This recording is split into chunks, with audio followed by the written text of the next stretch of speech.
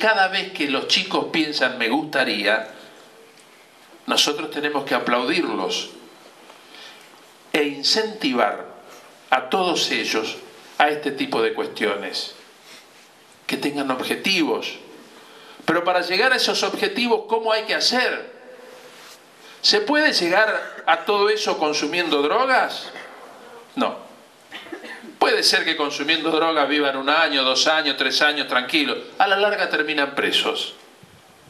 Como ustedes pueden ver, que hubo algunos que anduvieron vendiendo drogas acá durante mucho tiempo. Y todos decían que bárbaro, mira lo bien que le va y que... ¿Dónde están?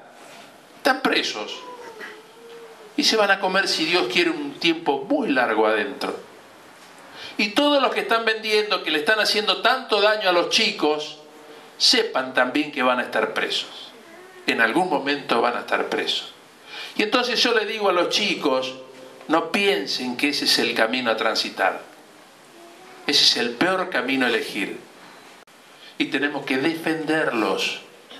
Defenderlo es pelear contra todos estos vaguitos que andan vendiendo drogas o haciéndole creer a los chicos que la solución es esa. Tenemos que defenderlos sin miedo.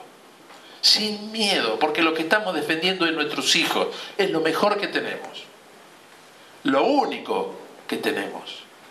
Porque en la vida, en definitiva, uno puede tener todo lo que quiera, pero que no nos falte un hijo. Eso es tremendo. Entonces luchemos junto a la escuela para construir un futuro venturoso para cada uno de los chicos que vienen aquí.